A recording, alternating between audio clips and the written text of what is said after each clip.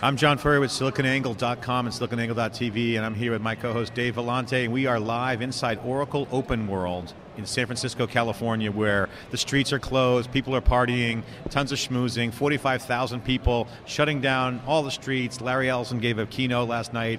Oracle is the big bad gorilla on the block here in the tech industry, and everyone's here. So we're excited to cover it, and. Uh, you know, the top news here is that Oracle is going heavily into the hardware business and increasing their performance. They own Java. They're having Java One going on in San Francisco as well. So every single tech geek, every enterprise guy is in town, Dave, and uh, we're covering it wall to wall like a blanket.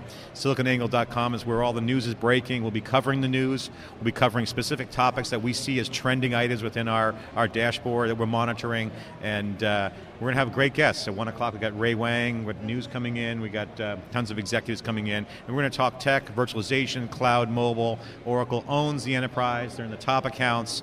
Um, they're um, probably the one company, Dave, that's being, being attacked by everybody. Everyone wants their market share. Highly competitive. Larry Ellison is an industry in the, in, uh, legend who's known for sailing uh, yachts. He's bringing the America's Cup to San Francisco.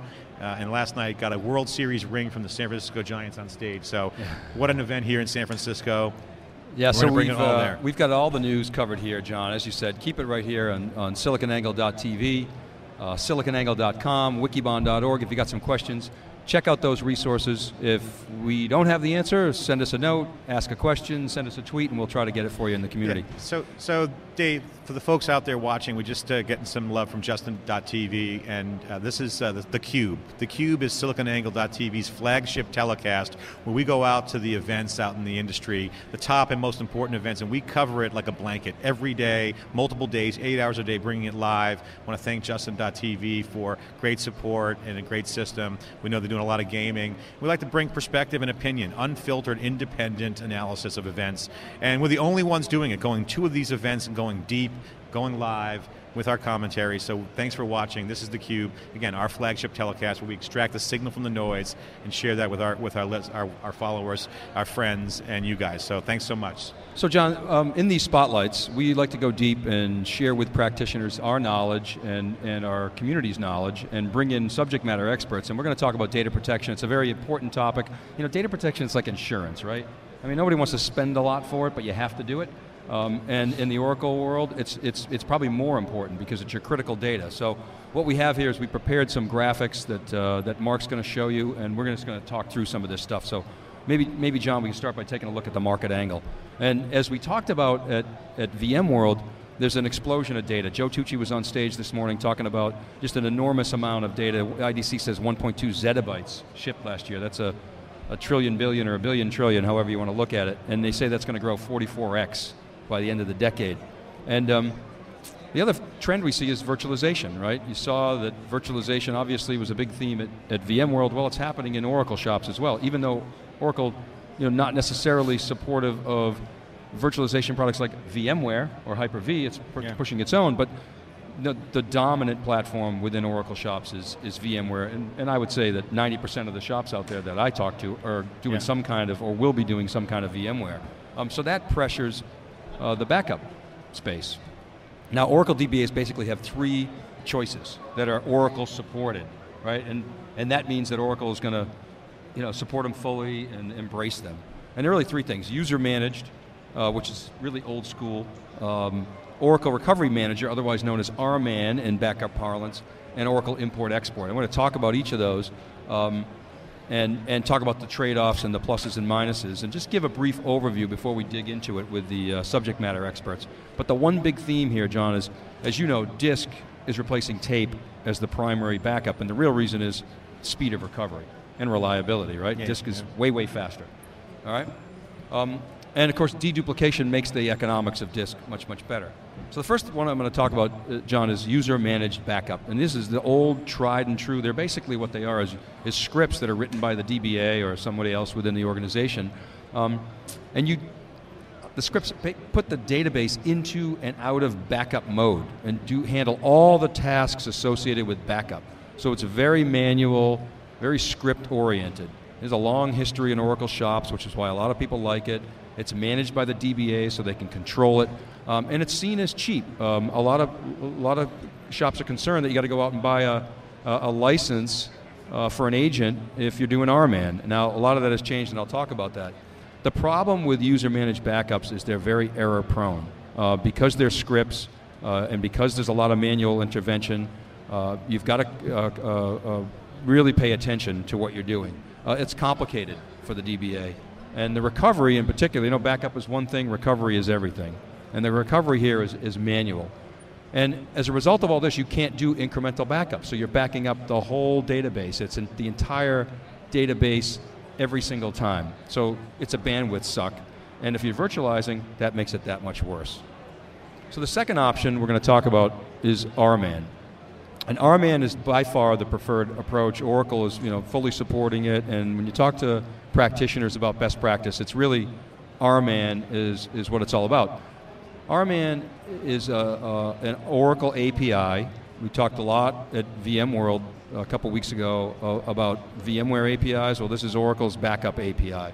So it directly communicates with the database. It's like a fast pipeline between the, the, the, the data and the database, the backup device, the backup system, and the backup process. So it's much, much simpler than, than so-called user managed because you got end-to-end visibility on that backup.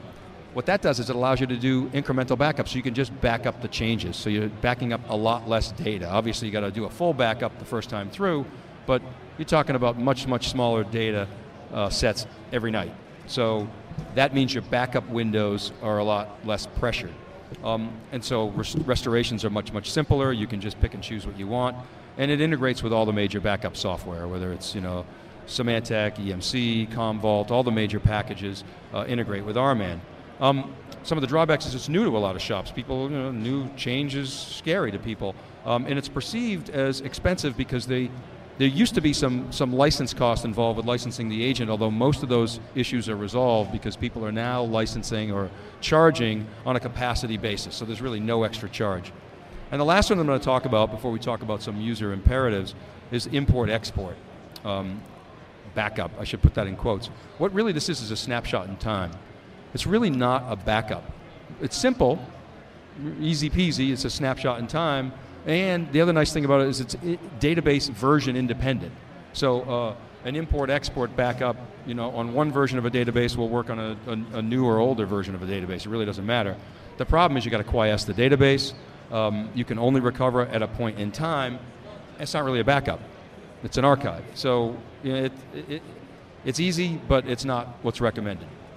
So John, we've put together some eight customer imperatives, and, and I'll run through them quickly, and then we'll you know dig into the spotlight here. You know, the first one is you know back up often. You know, vote often, well back up often, uh, and then test that backup that can be recovered. A lot of customers don't adequately test recovery, and there's a golden rule in, in Oracle backup and really in, in any backup and recovery. It's really separate the backup data and all the metadata and all the files that you need to recover um, from the disks that contain the actual data files. Says if you have a problem, you really want to separate the media, the RAID devices, the volumes, and the file systems. Even though they're reliable, they, they break sometimes. And if you lose the data and the backup data, you're basically in huge trouble. Hey, that's all great and all, but I mean, that's like kind of common sense. Why isn't it an imperative that it should be doing it anyway? What's different now? Well, because Oracle, well, a lot of, a lot of customers don't do that, believe it or not. Um, and, and if you don't do that in Oracle, you're talking about mission critical data right? So that's why it's so important. What's the problem? What's the key problem, in your opinion? The key problem is that if you put the backup data and the and the, the corporate data on the same device, and somehow it gets corrupted, or somehow you lose that media, you're out, you're down, you're fired. That's really the problem. Lo- the data's lost. You know, if, if, the data's lost. It's gone. It's corrupted forever.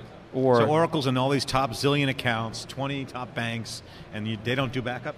Oh, they do them, but it's complicated and there are some pe- new people to work. It's a spectrum. It's like anything. You've got people that are very experienced at doing backups, and people that aren't, and the ones that aren't might make mistakes because this stuff is complicated. Um, the other thing is virtualization, right? Virtualization, we talked about this a lot, stresses backup. So you've got to simplify the process. That's why really RMAN is the preferred approach. You got to look at that as the best practice and you know, do the math on disk-based recovery. Ideally, you could leave at least 24 hours of your redo logs on disk because you don't want to have to get that stuff from tape. If you got to do a recovery of a redo log, you want to do it from disk. You don't want to do it from tape. What are the key virtualization trends that are driving backup? Obviously, virtualization, great technology. You know, disk is replacing tape. SSDs and flash is replacing the disk. What's the main tech and going on that drive this? As it relates to backup, the biggest issue with virtualization is, as we know, servers traditionally have been underutilized, right? That 10%, 15%. Well, backup is one application that is not underutilized. When you're doing a backup, you're at 90% utilization of that service. So when you virtualize, you consolidate, you have now less physical assets. As a result, you're more, you're more constrained and your backup window gets more pressured. So you have to be smart about the way you architect it. So great question. Um, so that's really, John, the quick snapshot. Um, and we're now going to dig deep into some of these issues. We're going to talk about um, specifically Uh, what is the direction of backup, what practitioners are doing.